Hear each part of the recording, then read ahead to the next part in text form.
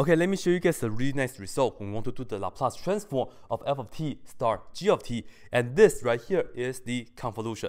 And by the way, if this is just a regular multiplication, there's no good result at all, right?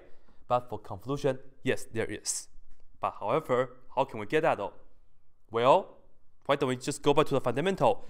Namely, let's go ahead and use the definition of Laplace first, yeah? So, by the definition of Laplace transform, we know this is going to be the integral from 0 to infinity, and we have to have that e to the negative st, and then we have to put this in here, right? But what is the convolution? As we know, convolution is also integral, isn't it? The definition of the convolution, let me just put that down right here. It's the integral from 0 to t f of t minus v times g of v. And this right here is just regular multiplication, right? And inside here, we have to integrate it with respect to v first. And then let me just put a parenthesis around this because we have to remember to put down dt at the end for the definition of the Laplace transform. Okay, we are kind of making progress. But now, and yes, if you guys notice, we have an integral inside of another integral. Yes, this is the double integral, just like your good old calculus 3, isn't it? How can we take care of this though? Well, let's think about a few things. First of all, the limit of this integral is going from 0 to t, but this one is going from 0 to infinity. And this is a variable t, right? So I cannot do too much about this. It will be much better if this integral is also going from 0 to infinity so that I can just change the order of integration if necessary, right? Maybe that's a good idea. And another thing I noticed is that right here I have the f of t minus v, t minus something. This kind of reminds me of what we have done in the previous section, right? With the unit step function. Because remember, whenever we have the unit step function, we have to have that u of t minus a, t minus whatever, right? So that kind of, well, it's kind of suspicious. Hmm, maybe we can utilize the unit step function and somehow make it so that this integral can also become from 0 to infinity instead. How can we make that happen? Well, let's check this out. First of all, let's go ahead and interpret this integral as the area under the curve. So this right here is saying we have this function here, right here, right? In the phi world. And let me just draw this right here for you guys. So this horizontal axis is the phi, okay? And let me just say this right here has the graph that looks like this. I don't know how it looks like, but you know, just for illustration purpose. And we have this function. Let me just label that. This is f of t minus v times g of v. And once again, in this world, in the phi world, t is just a constant. Phi is the independent variable. Okay, and you see this integral is going from 0 to t. So I will just mark this right here for you guys, 0 to t, like that, right? And we are trying to just calculate this area for that, isn't it? Well, this is just from 0 to t. But as I mentioned earlier, I want to go from 0 to infinity instead. If I can somehow come with a function so that it only represents this piece only, and I can just go ahead and integrate from 0 to infinity, right? And check this out. This is how we used to utilize the unit step function. And by the way, I know we have a lot of variables on the board already. So to make things slightly clearer, let me just use this to be, let's say, you know, say 3, right? Just for illustration purpose. And I'm going to change that back to you guys very soon, right? And I'll also actually change this to red, so it will be slightly better. So keep in mind, this 3 is just the t value that I pick for now, right? Okay, so I have a first option for you guys. So let me draw this again. So I shall draw it right here. You guys can still see. So the function still looks like this. And this is still f of t minus v, g of v. Nothing changed, right? And let me just mark this is 0 and this is my 3, all right? and now, just like the previous section, imagine if I take this and multiply by u. And remember, the independent variable that we're using is phi. So let's talk about if I multiply this by u of phi minus a number. And you know what the number is. I want to just talk about 3. So let's say phi minus 3. How does the graph of this look like? Well, 3 is the number right here. And this is phi minus 3. That means anything before 3, it will become 0, like this. And then at 3, you have the open circle.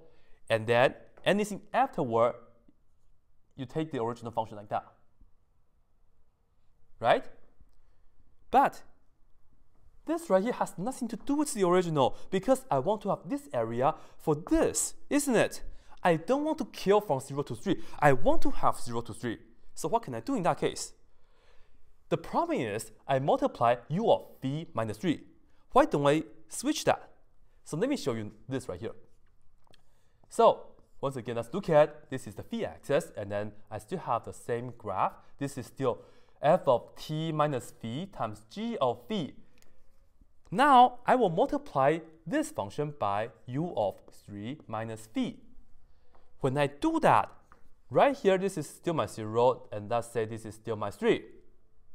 Notice that I just flip this input, right?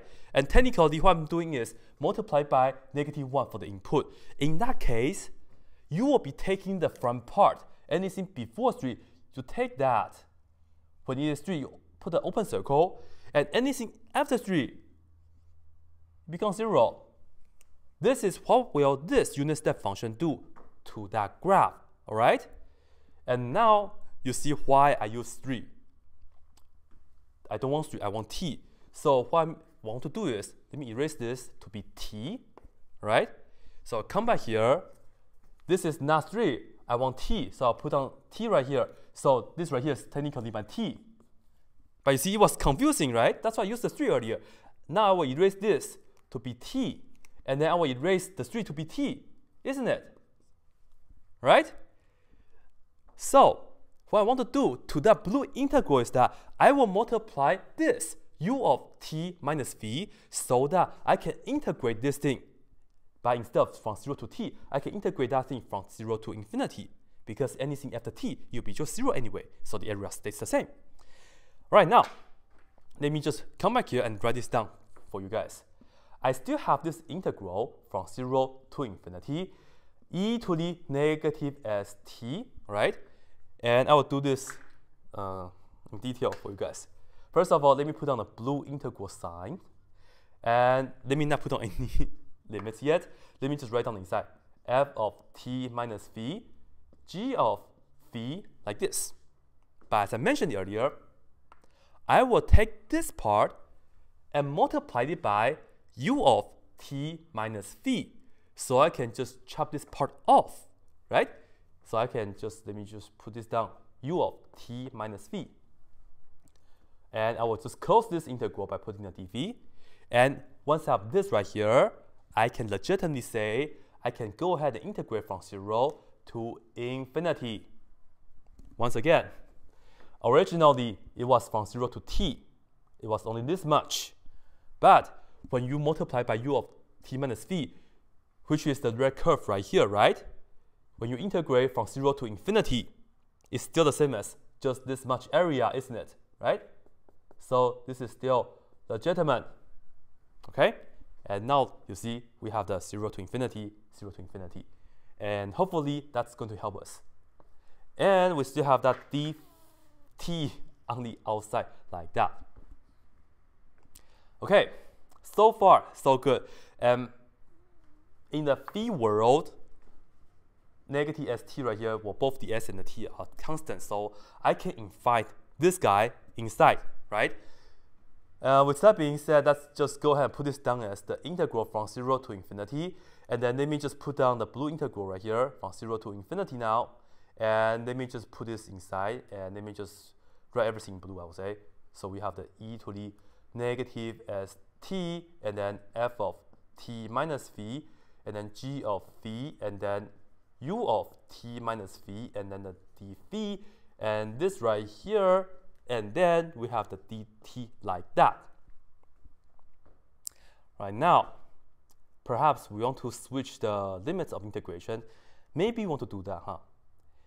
Because here's the deal. I have the phi, phi, phi in the phi world. Earlier, I was able to you know, bring this inside. But if I switch the dv and dt, well, I can work with the t world first. And let me show you. So what I'm going to do is I'm just going to change color. The blue is going to go first now, well, outside technically, from 0 to infinity like this. And then I'll focus on the t world, so it's the black integral from 0 to infinity.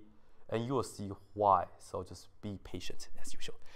And let me write this down in black. e to the negative st, f of t minus v, and then g of v, and then u of t minus v, and then I want to have the dt first, and then the dv later. By the way, can I just change the dv and dt? Yes, because right here, this is just from 0 to infinity, 0 to infinity, and then these functions right here, they are all continuous, right? So they are, you can always integrate this right here because we're talking about integrations. So now, no, I don't want to get into too much detail, but yes, we can, especially when we don't have any const we don't have any variables on the limits. So yeah. All right, now, when we look at dt first inside, phi will be the, the constant, so I can bring this out isn't it? Let me write this down one more time right here. Uh, if you would like, you can just erase and put it outside, but I want to just write it down nicely for you guys. Anyway, this is going to be, I have that blue integral from 0 to infinity. I will bring the d, I will bring the g of v outside. So this is g of v. And once again, I can do that. It's because I'm in the t world now. So g of v is just a constant. And then I'll close this with the black integral. So we have the integral from 0 to infinity and then e to the negative st and then this, this, that, right? So f of t minus v and then we have the u of t minus v and then the t and then d phi at the end like that. Okay? And now, if you just focus on the inside, do we recognize this at all? This is the beauty when you're just focusing on the t world. You have the t right here, and here you have the t minus v, and here you have the t minus v, isn't it? Well, let me just put this on the side for you guys. I'll just put it down right here. Note. I may need more space, so let me put a note right here.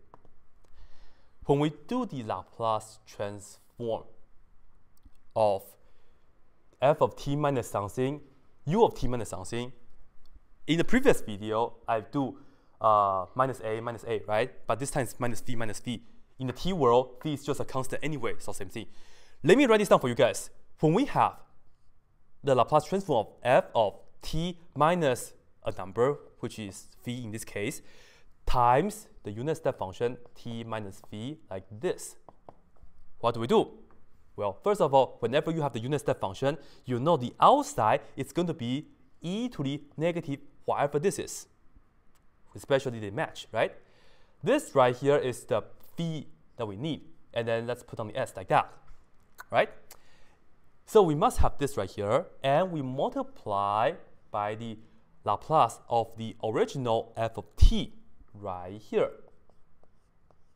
Just like that. And now we can rewrite this as the following. We can put down e and then negative, and let me write the s first, okay? And then the phi right here.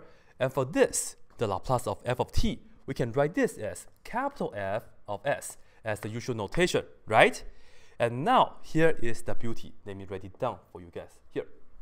As we can see, we still have that blue integral, right? Let's put that down first. That's equal to the blue integral from 0 to infinity. And we have g of v right here. Let's put that down, right? And if you see this part in black, this is exactly the definition of the Laplace transform of f of t minus v, u of t minus v, isn't it? Right? So you know this is the same as that, and I will just replace the whole thing right here with e to the negative sv times f of s, right? This is pretty much the result of this integral in black now. So I will write this down as e to the negative sv, and then we have the capital F of s right? This is the same as that. And we still have that d phi at the end, so let's put down the d phi. And now, we are back in the phi world. So with that being said, you know f of s, this right here is just going to be a constant, so we can take that to the front. And now we will have f of s all the way in the front, and we can say this is multiplying by the rest. And this is just a regular multiplication. We have the blue integral from 0 to infinity, and let me write this down first. e to the negative s phi, and then g of phi, and then d phi. And check this out. This is the integral from 0 to infinity. And then we have the phi, phi, phi, they all match. What is this? This is just capital G of s, isn't it? In another word, you do the Laplace of the original g function. So right here, this is so pretty. We just have f of s times, this right here is just capital G of s. And that's it, right? And let me just write down the zero slightly better right here. So what is this trying to say? Let's refer back to the original notation. When you have the Laplace transform of f of t, and you're doing the convolution with g of t, this right here, what we can do is, let's just go ahead and do the Laplace transform of f of t first. And then close that, and we multiply, you see, we multiply, this is once again just a regular multiplication. We multiply by the Laplace of the second which is the g of t. And once again, yes, right here we're using phi, but the phi is just a dummy variable. The result of this integration will be g of s, and that's pretty much the same as saying Laplace of g of t. And this is the theorem statement for the convolution. All right? And before we go, I will also put down the other version of this when we have the inverse for this, right? So if you look at the inverse version, that is when you have the inverse of two functions in the S world, right? So the inverse Laplace of f of s times g of s, like this. What you're going to do is, you are just going to go ahead and do the inverse of the first, which is f of s. And when you do this, remember, you will be back to the t world, and you will be doing the convolution, right? In the T world, you do the convolution. What's the second? Right? The inverse Laplace of g of s. And in my opinion, this is more useful than the first one because this is really great for us to find the inverse Laplace transform. But anyway, you should definitely know both. This is one of the fun questions that I've ever done. And be sure you watch my other videos for the actual examples on how to utilize these rule statements, and that will be so wonderful. And that's it.